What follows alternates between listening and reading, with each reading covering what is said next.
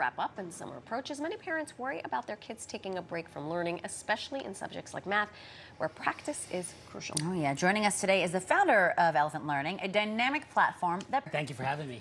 Well, this is a this is a treat, especially for me since I have children. You have kids. You got two Um, of those. Tell us exactly what elephant learning is. Sure. So smart. that. So smart. What inspired you to create this program? Well, um, I Like this. Thank you so much for joining us. thank you Wonderful for having me. program. Thank Really, you, doctor. truly. If you'd like to find out more about elephant learning, visit elephantlearning.com.